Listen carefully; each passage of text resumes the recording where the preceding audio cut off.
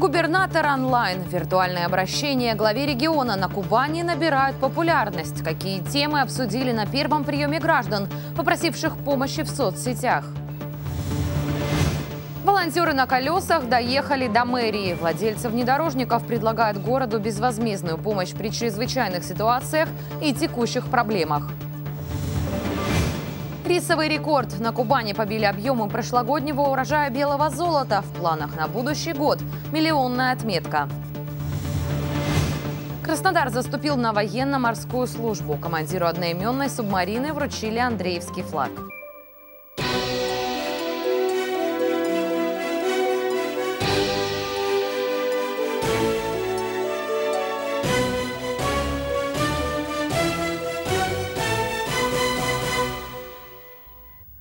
Здравствуйте! В эфире программа «Город. Итоги». В студии Аглая Ильинова. Предлагаю узнать, чем запомнится Краснодару эта неделя. Больше сотни краснодарцев остались без зарплаты. Это работники станкостроительного завода «Седин». Предприятие не выплачивает деньги своим сотрудникам уже больше года. Завод задолжал рабочим почти 26 миллионов рублей. За помощью горожане обратились к губернатору края Вениамина Кондратьева. Они попросили помочь разобраться в ситуации.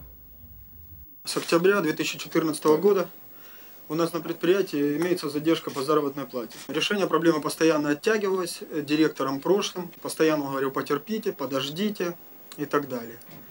В феврале уже назрело. Мы пошли к директору головной компании Соболеву Игорю Аркадьевичу. Он попросил не выносить ссор из избы, обещал вопросы все решить и так далее. Но мы согласились, естественно. Но шло время, и вопрос, вопросы не решались. По мнению рабочих, причина такого положения предприятия в неэффективном управлении. Политика директора направлена э, на развал крупного станкостроительного завода, считают его сотрудники. Вениамин Кондратьев выслушал каждого, а после высказал свою точку зрения. Они не могут остаться один на один э, с этим МАУ Сидин или там как еще называется. Готовьте коалиционное совещание прям внеплановое. Э, даже может по этому вопросу, потому что у нас сегодня Седин, а завтра будет еще их целая куча. И не дай бог, конечно. И власть здесь не должна быть безразличной э, к своим жителям. Здесь не они должны быть оппонентами и просителями сама власть даже четко обозначить э, о том, что она представляет их интерес. И тогда, может быть, желающих также поступать с работниками будет меньше, кроме в нашем крае. По итогам встречи глава региона поручил своим заместителям разобраться в ситуации и найти пути решения. Уже на этой неделе пройдут переговоры с директором завода. Тем временем на Кубани все большую популярность набирают виртуальные обращения главе региона. Несколько кликов в сети вместо ожиданий под чиновничьими кабинетами гораздо удобнее. И о своих проблемах люди стали чаще писать в интернете губернатору. Вениамин Кондратьев в четверг провел первый прием граждан, обратившихся к нему через социальные сети. Как он прошел, подробнее в материале моих коллег. Пару кликов в интернете и вопрос мгновенно попадает в базу данных обращений. Отличная альтернатива хождениям по чиновничьим кабинетам. Десятки электронных писем со всего региона приходят каждый день. Но находить решение проблем, озвученных в виртуальном пространстве, пока все же приходится в реальной жизни. Вениамин Кондратьев сегодня провел первый прием граждан, обратившихся через социальные сети. Так, так Галина Михайловна. Пишут не только из крупных городов. Небольшие поселки и станицы тоже пошли через мировую паутину главе региона. Галина Логвинова из станицы Варениковской написала Венимину Кондратьеву о неразберихе с земельными участками. Фермеру, которого 50 коров, никак не может оформить в аренду землю. Как мне объясняют, что э, нету кадастра, его надо поставить. Мы не имеем права. Полномочия забрали. Край перепутал, поставил на кадастр. Потом перепутал, снял с кадастра. В итоге не земли, а мне надо сеять. В режиме онлайн губернатор дает поручение главе Крымского района разобраться в ситуации, а не загонять в тупик тех, кто занимается сельским хозяйством. Наша с вами обязанность ее поддержать. Вот поверьте, возьмите ситуацию на личный контроль, и тем более вот человек, который четко понимает не просто свой личный карман, но и социальную необходимость в том, чтобы мы должны сегодня на Кубани иметь собственное молоко. Вот они должны быть у нас в приоритете. Это я об этом говорил, говорю и буду говорить. И тем более делать. Вот, чтобы наши слова не расходились с делом. На встрече с губернатором люди просят не только решения собственных проблем. В лице Валентины Папандопула к главе региона обращаются все жители поселка Синой. Недалеко от него разворачивается стройка века моста через Керченский пролив. Ради такого, говорят люди, они готовы переждать временные неудобства. Единственная проблема, которая в прямом смысле под боком – грузовики, оккупировавшие почти все обочины поселка. Но вот эти все машины работают ночью, а днем все эти машины становятся в поселке, на обочинах возле школы, возле там жилых домов. Дети переходят дорогу, чтобы перейти ребенку, он там не видит, машина загораживает видимость. Ну и все жители очень возмущаются этому. Неужели нельзя найти стоянку им, чтобы они вот ставили эти машины? Можно найти решение при желании. Сергей Григорьевич, вот на самом деле, почему нельзя сделать э, отдельный парк, куда бы эти э, большегрузные машины приезжали э, днем. Стоянки две есть. Одна на 30 машин и вторая. Одна, как въезд в Синую, мы э, подготовили. В пятницу к концу дня будут стоять знаки.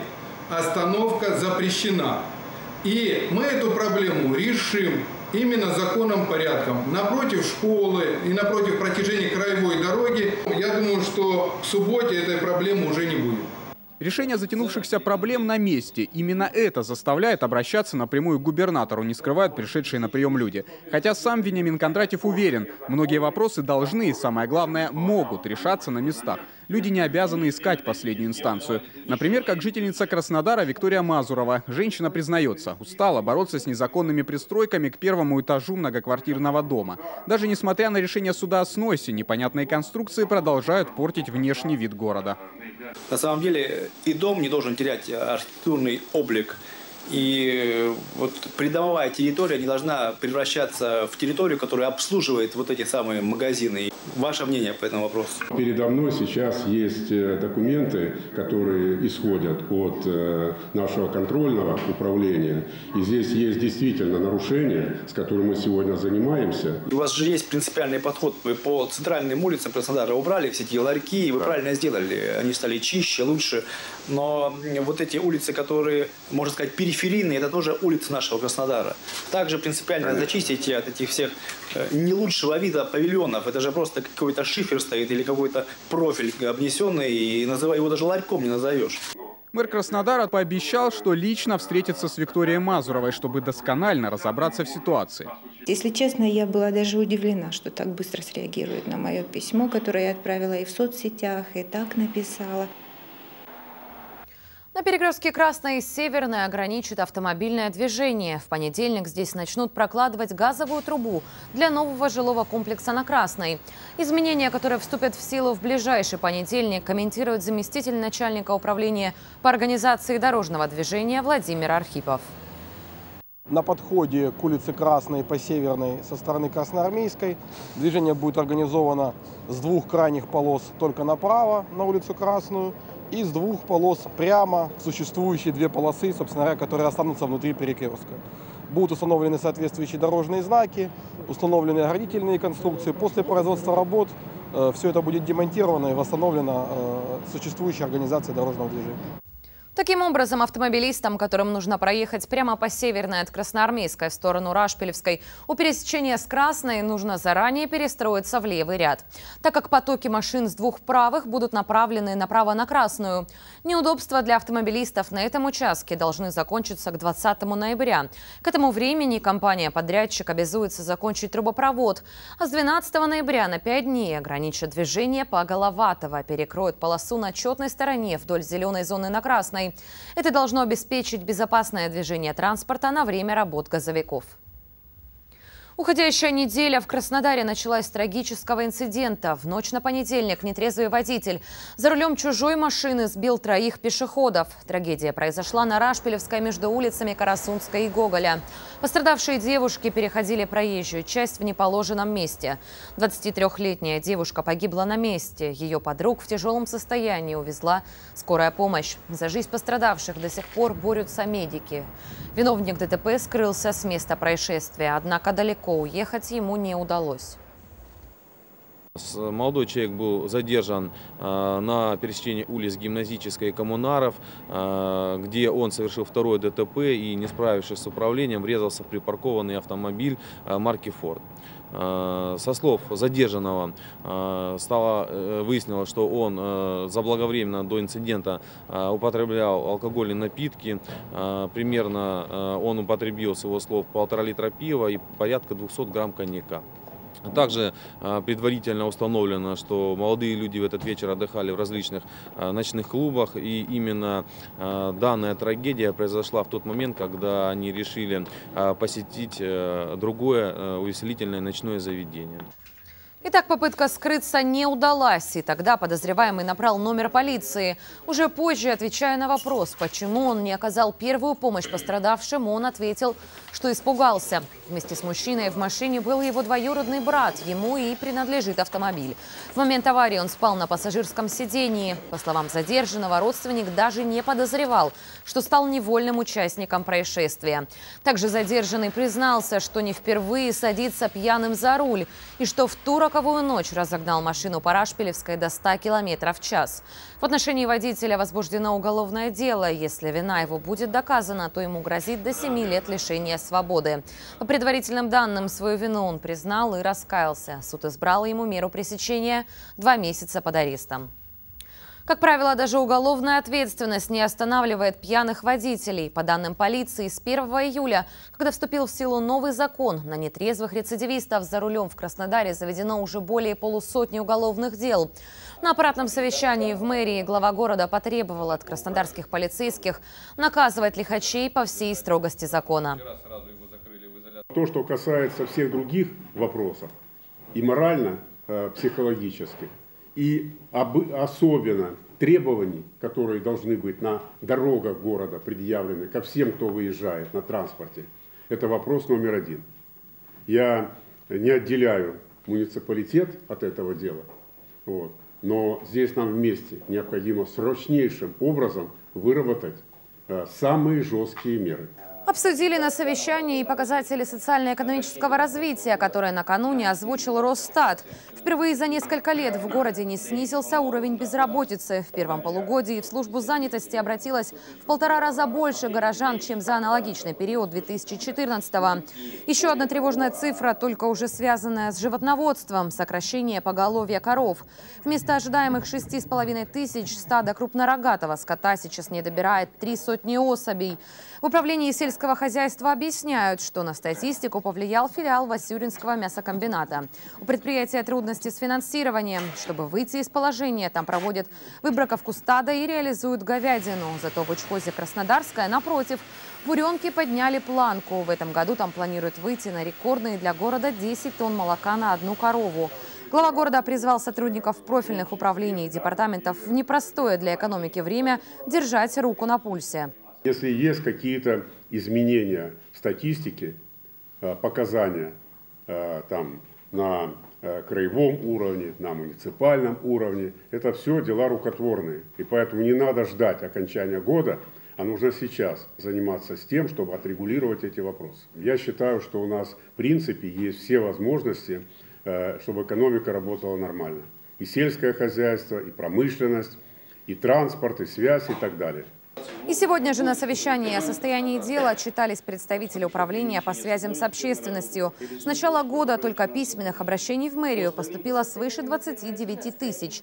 Это почти на треть больше прошлогодних показателей. Наиболее актуальные для горожан проблемы – жилищно-коммунальное хозяйство, очереди в детские сады, земельные вопросы и благоустройство территорий. Ни одно обращение не должно остаться без ответа, подчеркнул Владимир Евланов. Люди должны знать, что их проблему услышали, и она будет будет решена. Чтобы все основные проблемы, которые людей волнуют, о э, провалах на дорогах, о состоянии там коммуникаций, о э, амброзии и всего-всего, мы это все систематизировали через обращения граждан. Это сотни, тысячи таких обращений. И все они должны быть на контроле. Часть из них, большая еще сегодня, не реализована, но она находится на контроле. И если это обращение было, значит мы так или иначе примем меры к тому, чтобы эти вопросы решить. С начала года на личном приеме у главы города, а такие встречи проходят ежемесячно по предварительной записи, побывали 122 краснодарца. Примерно треть вопросов, заявленных в обращениях, уже решена положительно. Волонтеры предложили мэрии свои внедорожники. В четверг глава Краснодара провел рабочее совещание с участием активистов движения «Волонтеры на колесах». Автомобилисты познакомились с Владимиром Евлановым на форуме общественных инициатив и выразили желание сотрудничать с городскими властями в решении социальных проблем. Владельцы внедорожников уже успели проявить себя. Во время подтопления в Туапсинском районе населенные пункты, пострадавшие от паводка, не доставляли питьевую воду и гуманитарную помощь.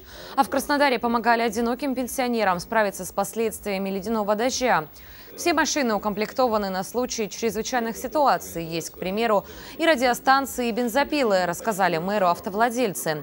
Встреча прошла в транспортно-навигационном центре. Руководство управления, отвечающих за транспорт и социальные вопросы, Владимир Евланов поручил продумать варианты сотрудничества с такими полезными людьми.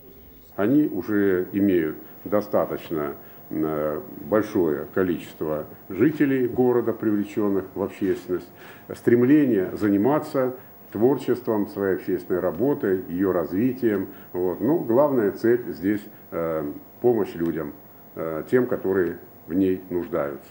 Ну и наша главная задача, э, так сказать, административное управление городом и опять же желание дойти до каждого человека, который требует помощи, которому она нужна, эта помощь. Вот скоординировать эту работу совместную. Речь прежде всего о сотрудничестве в случае возникновения чрезвычайных ситуаций. Внедорожники могут понадобиться, например, для доставки продуктов или оповещения жителей. Сотрудники управления по соцвопросам часто сталкиваются с проблемой перевозки маломобильных граждан. Помощь добровольцев в этих случаях городу тоже пригодится. В свою очередь, волонтеры предложили создать совет автомобилистов на общественных началах при главе города. Такая структура могла бы стать посредником между городской властью и сообществом краснодарских водителей. Последние несколько лет краевой центр, перенасыщенный автомобилями, внедряет выделенные полосы для общественного транспорта и продвигает платные парковки. Естественно, эти меры вызывают неоднозначный отклик среди водителей. И сотрудничество с лидерами автомобильного движения поможет решать возникающие проблемы и устранять их. С краснодарских застройщиков будут строго спрашивать за качество возведенных ими жилых метров. Недобросовестные компании затягивают сроки сдачи домов, а потом новоселы по несколько лет ждут, когда в их квартирах устранят недоделки. Так, например, произошло с жилым комплексом «Валентина» в Прикубанском округе. Там выявили дефекты кровли многоэтажек, ливневой канализации, переходных балконов и автономной котельной, допущенные еще при строительстве. А благоустройство территории оказалось скромнее, чем предусмотрено в договоре. При этом, не отвлекаясь на устранение недоделок, застройщик не стеснялся рядом возводить новые этажи.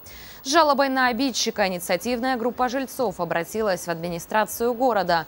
В настоящее время исправление допущенных нарушений контролируют городские службы. В октябре наладили отопление и подключили горячую воду. Сейчас в Краснодаре 35 проблемных домов. На городском совещании во вторник Евлатов Асланов назвал их полуфабрикатами и запретил принимать такие объекты в эксплуатацию до полного устранения всех недоделок. Надо повысить требовательность и ответственность э, к э, застройщикам территорий по выполнению их обязательств. Тем более в условиях вот э, сегодняшнего кризиса и когда не достает средств для достройки объектов. Держать на контроле буквально до того времени, когда все вопросы не будут решены и не давать им возможность вводить новые э, полуфабрикаты. Это касается буквально всех. Контролирующие службы городской администрации должны строже следить за технологическим процессом при строительстве, отметил мэр. А застройщики строить качественно и соблюдать установленные сроки, чтобы покупатели въезжали в комфортное жилье. Далее короткая реклама. Не переключайтесь. Во второй части выпуска обсудим следующие темы. Праздничный экватор недели. День народного единства Краснодар отметил массовыми гуляниями. Сегодня вспоминаем, как это было. Краснодар заступил на военно-морскую службу. Командиру одноименной субмарины вручили Андреевский флаг. Большая спевка на Театральной площади. Краснодар стал вторым в караоке-марафоне среди семи городов. До победы не хватило 900 голосов.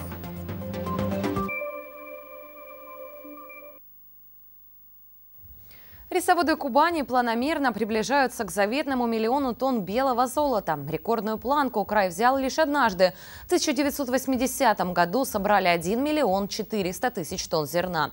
Правда, площадь посевов тогда составила 220 тысяч гектаров. Это почти в два раза больше, чем засевают теперь. Зато средняя урожайность по краю, полученная в этом году рисоводами, в рекордном 80-м, была подвигом единичных хозяйств. В этом году урожай составил 945 тысяч тонн тонн. Это на 15 тонн лучше, чем в 2014 -м. А ближе всего к заветному миллиону мы были в 2012 -м. Тогда урожайность в отдельных хозяйствах достигала 110 центнеров с гектара. Тружников села с достижениями поздравил на этой неделе губернатор кабачная каша, яблоки фаршированные, орехи с, с рисом, сладкую, сладкую кашу рисовую, кутья, семга, салаты семги с рисом, очень вкусный. Еще, наверное, перечислить невозможно все их, их так очень много. Рецептов из риса у кубанских хозяек соберется на большую поваренную книгу. Вкусные запахи доносятся из каждого куреня. Но король всех рисовых блюд сегодня, конечно же, плов. Готовят его здесь на огне под веселые казачьи песни и с удовольствием раскрывают главные секреты. Самое главное не мешать. Если его постоянно вот перемешивать плов, тогда он будет как каша. А если он ровненько и томится медленно, вот значит будет замечательный.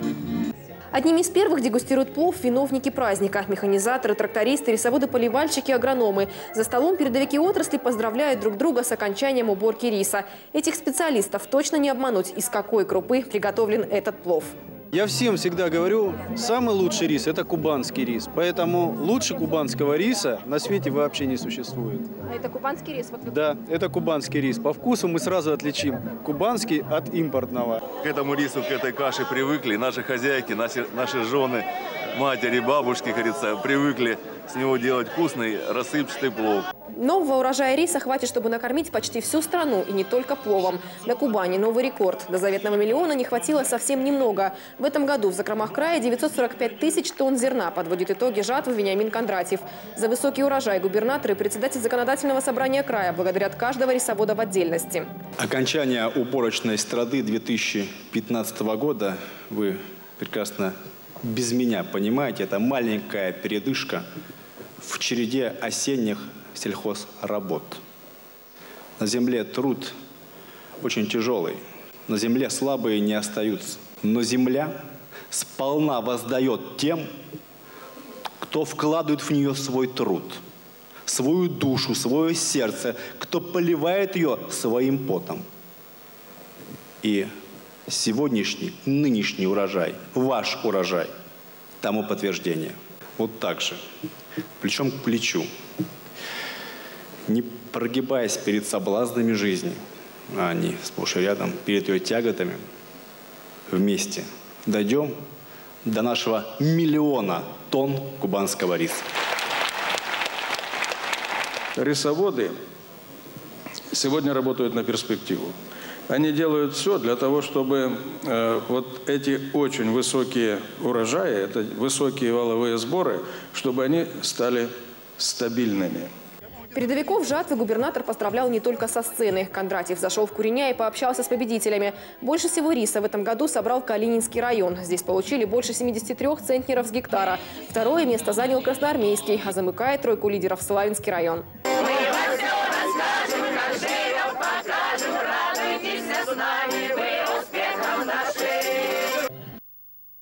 К другим темам. В четверг подводная лодка «Тезка Кубанская столица» официально приступила к несению службы в военно-морском флоте. Символическое посвящение прошло на судостроительном предприятии «Адмиралтейские верфи» в Санкт-Петербурге.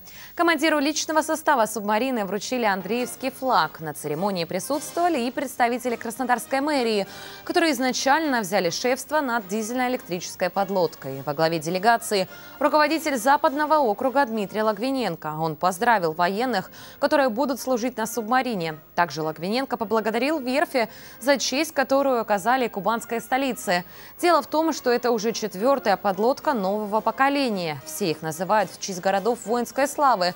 Новороссийск, Ростов-на-Дону, Старый Оскол. Несмотря на то, что наш город такого статуса не имеет, подводному судну все равно решили присвоить имя кубанской столицы.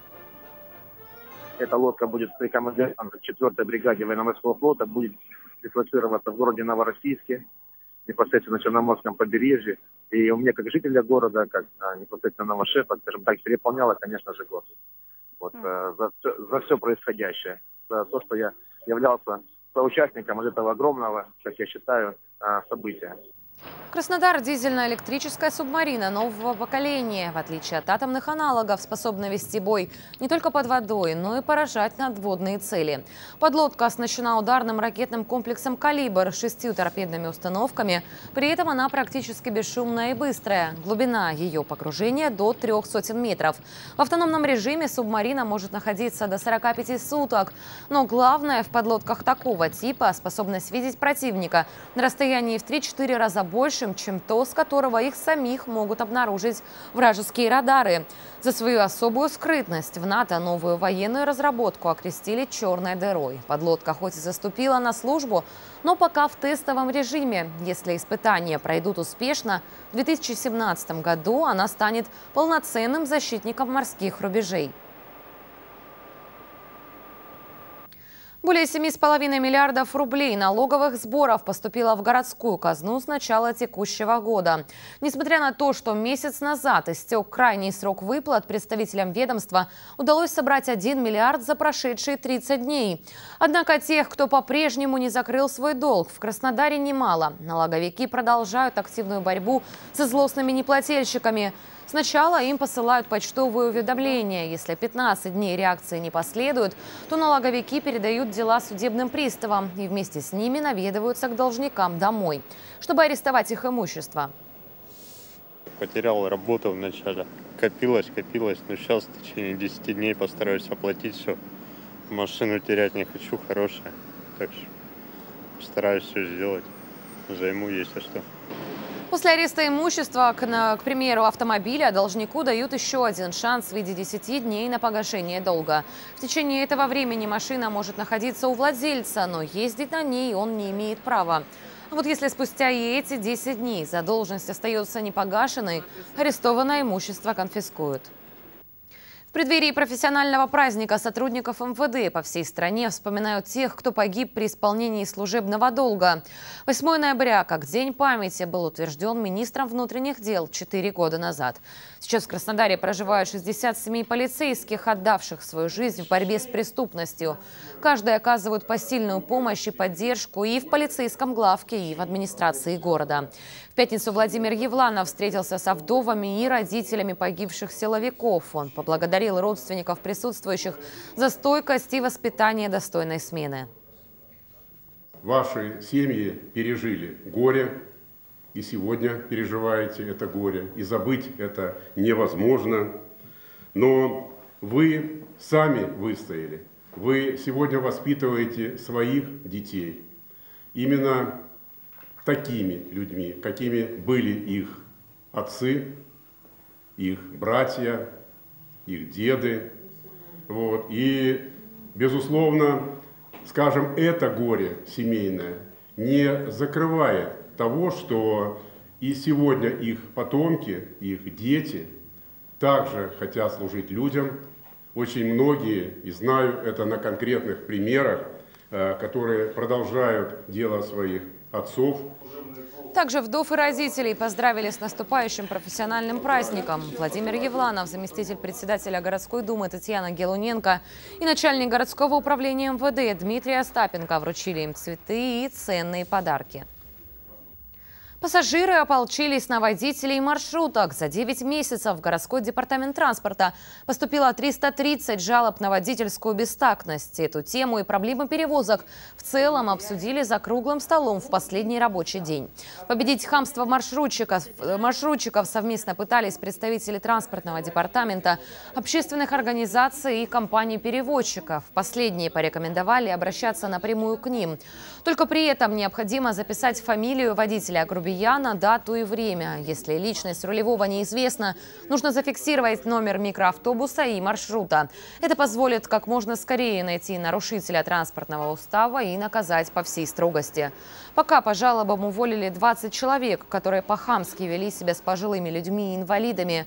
Активисты попросили перевозчиков в каждом микроавтобусе повесить объявления с телефонами и адресами своих организаций, чтобы каждый мог обратиться к ним в случае конфликта.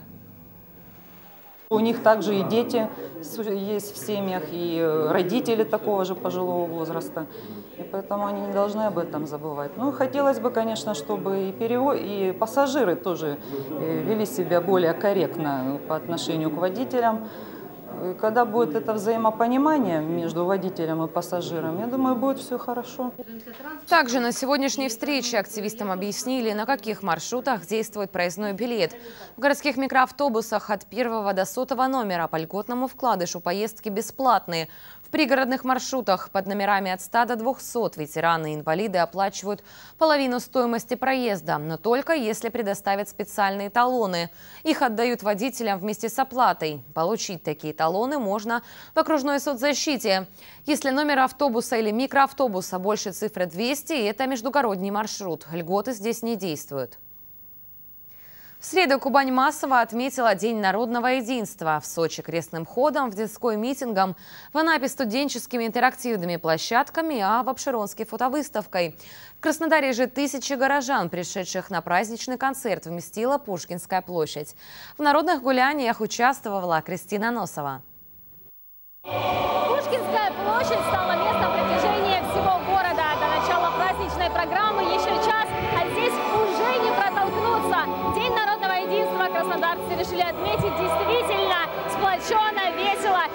единодушно. Солнечная погода, свежий воздух и выпавший посреди трудовой недели выходной. Все это дополняет атмосферу праздника и поднимает настроение собравшимся. Днем народного единства! На Пушкинской площади царит настоящая атмосфера единства. Празднуют все. Представители ветеранских и молодежных общественных организаций, политических партий, руководители благотворительных фондов и представители администрации. Официальную часть начали с минуты молчания в память о погибших в авиакатастрофе в небе над Египтом. Эта трагедия сплотила всех жителей нашей страны. Традиционно и в горе, и в радости россияне остаются сплоченными. Исторические события это не раз подтверждали. Все наши победы были в едином порыве, в едином духе.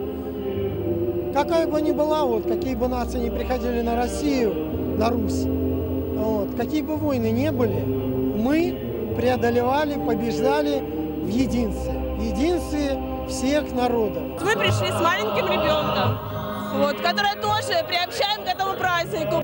Этот праздник нас объединяет, нам какой-то силы дает, стимул дает в жизни все. День народного единства. Приветствую этот праздник. Я понимаю, что все люди собираются и отмечают День единства своей страны, что как бы она, Друзья, они все как один за одного нам и будет все очень приятно, если вы скажете, что вы вместе заодно узнали, что 4 числа добро. в Краснодаре будет потанцевать под объединение, композицию для настроения, электроников, для того, чтобы зажигать. хорошо надеюсь, жилось. да, Настоящим подарком гостям праздника стало выступление звезд российской эстрады, групп Лои и приключения электроников. Рок-музыканты вживую исполнили всеми любимые хиты советской эпохи. «Все пройдет», «Земля в иллюминаторе», «Прекрасное далеко» подпевали и взрослые, и дети. Некоторым посчастливилось даже спеть вместе с музыкантами любимые хиты. Ну а те, кого не уместила сцена, взявшись за руки, стали водить хороводы.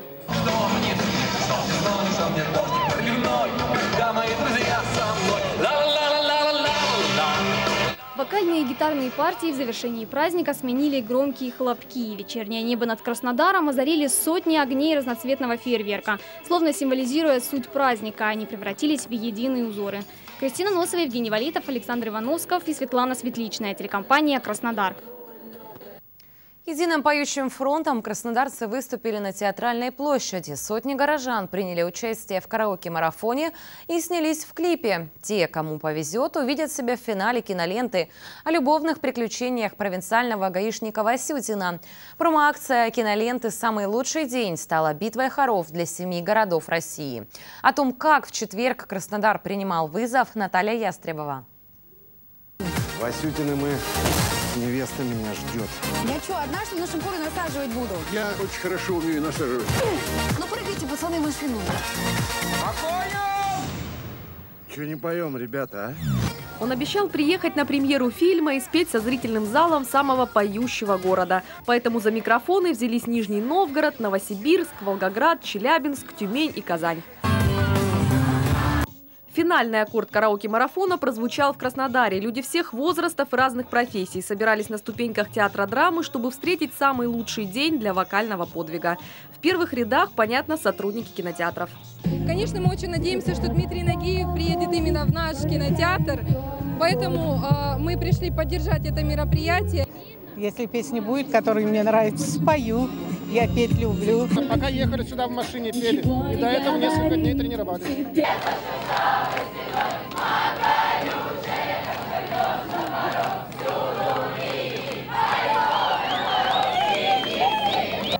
Главный репертуар дня волонтерам доверили не сразу. Многие из собравшихся на театральной площади у микрофона в первый раз. Впрочем, актерам караоке-фильма тоже пришлось пройти испытания жанром. Все герои истории про гаишника Васютина, которого пытается женить заботливая мама, поют, что называется, и в горе, и в радости. Сюжетную линию режиссер позаимствовал у Островского из пьесы «Женитьба Бальзаминова». Роль главного героя сыграл Дмитрий Нагиев. Самый лучший день заходил вчера.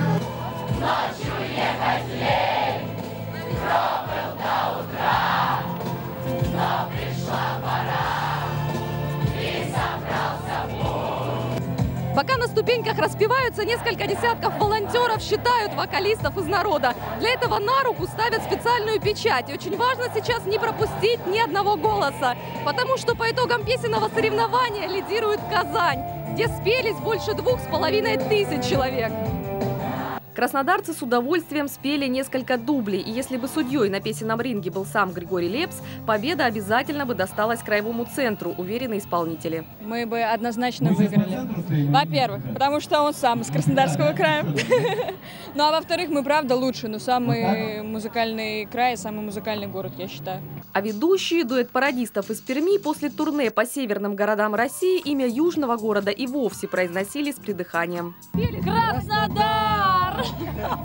Здесь сегодня самая крутая, яркая, солнечная погода. Из всех восьми городов, в которых мы были, всегда был дождь, пасмурно, потому что уже началась осень. А у вас все еще солнце, и мы как будто приехали в лето, потому что у нас в Перми уже сугробы по колено и минус 10. Несмотря на то, что и солнце было за нас, и позитив зашкаливал, остался Краснодар без Нагиева. Чтобы обойти Казань, нам не хватило 886 человек. На театральной площади зафиксировали 1857 поющих. Все они надеются теперь увидеть себя в финальном клипе. А кое-кто уверен, что по-любому попал в кадр. Наталья Ястребова, Андрей Вискушенко и Диана Кабалотти, телекомпания «Краснодар». Ритмы жизни в Краснодаре задавали барабаны. В Краевом центре отгремел фестиваль ударных инструментов. В нем участвовали четыре музыкальных коллектива и больше сотни горожан. Чтобы все желающие побарабанили от души, организаторы подготовили достаточное количество пластиковых бутылок и жестяных баков. Впрочем, стучали даже по деревянному помосту. У моего коллеги, который видел шоу, просто не осталось слов. Давайте посмотрим. Внимание, потихоньку сделаем тишину. Для чего мы пошумели? Мы пошумели для того, чтобы понять, чем джем должен отличаться от того, как мы просто да, пошумели. вот сейчас мы просто шумели, а джем должен быть, мы слушаем друг друга, сделаем тишину, и кто-нибудь один начнет, его придерживаемся, и все.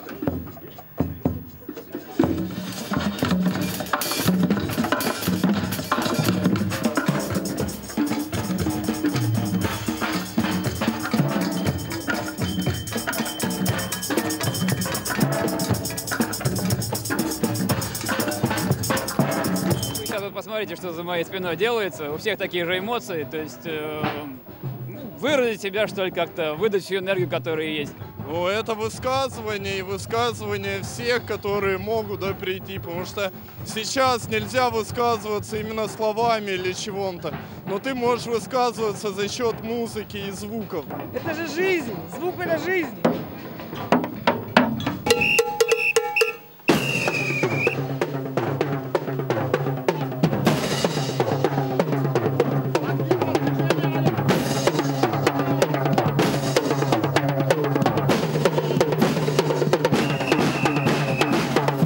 Больше позволять себе, ну, по-хорошему дебоширить, ну, то есть, как бы, шуметь и отрываться, уметь, уметь отрываться, потому что люди зачастую просто сидят и думают, так, где же шоу, я должен увидеть шоу.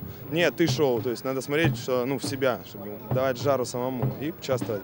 Ну, и а, одна из самых главных уже фабул таких э, фестивалей. То есть мы убеждаемся уже второй раз, что людям надо больше слушать другого, чтобы не было хаоса сильного. Да? И это как бы такая очень философская вещь получается. То есть надо слушать другого, чтобы попадать в ритм вообще и жизни, и всего.